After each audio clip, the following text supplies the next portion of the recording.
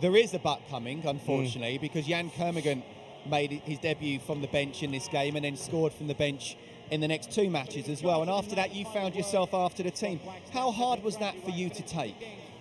Yeah, it's, it's like any player. You know, you, normally when you you start the season, you're doing okay and winning games, you, you're not normally dropped. But um, on the flip side, with Yann coming off the bench twice and scoring, is is going to trump card is saying, well, why can't I get in the team? So, and like Curb just mentioned there, didn't like it, but Yann's gone in there and and as each game went on, he was scoring and producing, and you just got to take your medicine sometimes, and it's hard. But as you say, the, the bigger picture was was the club and and uh, winning games, and just had to take it. That's very good of you to say. But three goals, three assists in nine appearances. That must have been quite tough. Would you have dropped me, Curbs?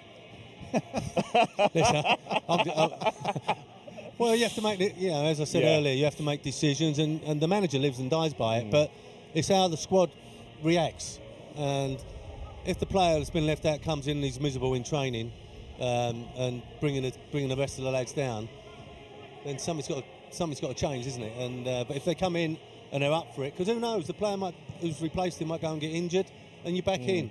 I just think that when you're on that role, as the club was, obviously promotions in their sights, everyone just gets on with it. To be fair, Yeah. Yeah, and it weren't a bad replacement either, was it?